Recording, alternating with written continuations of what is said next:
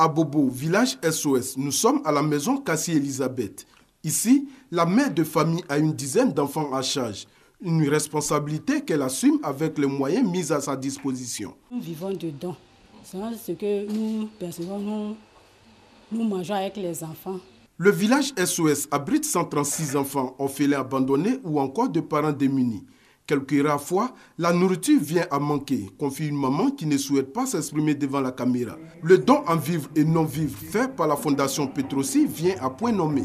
Ces dons vont véritablement nous aider à nous occuper de ces enfants et ils vont nous permettre pendant au moins une euh, période donnée de ne pas nous faire de soucis pour ce qui est de l'alimentation des enfants.